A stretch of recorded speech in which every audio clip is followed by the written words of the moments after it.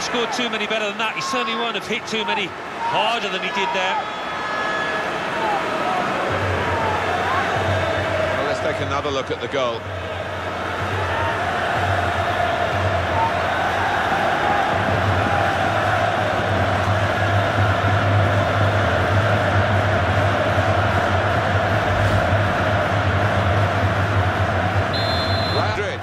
with